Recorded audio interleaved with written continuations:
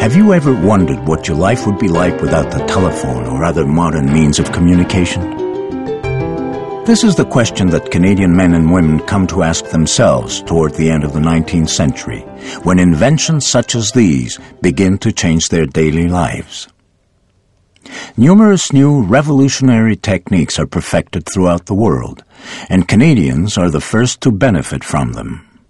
The exploitation of natural resources like coal and various ores pick up speed, and a new source of energy, electricity, finds many applications.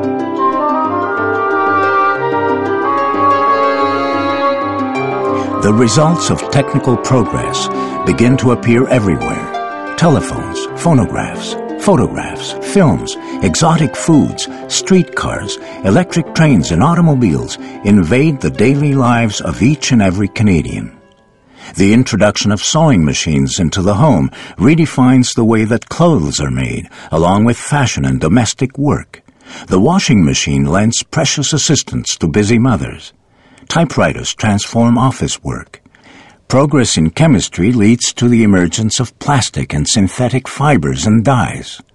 All sectors of Canadian industry, footwear, clothing, wood, paper, agriculture, etc., undergo rapid growth.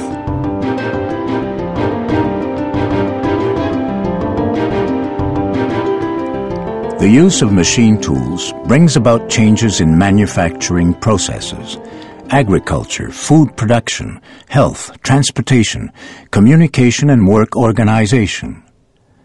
But if machine tools permit an increase in productivity, they do so at the expense of the quality of life in factories. Canadian workers, including many women and children, toil without respite in factories where they are subjected to extremely demanding methods of production.